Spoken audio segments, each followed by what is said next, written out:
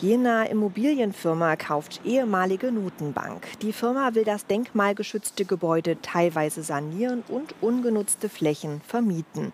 Es wurde im Jahr 1894 erbaut.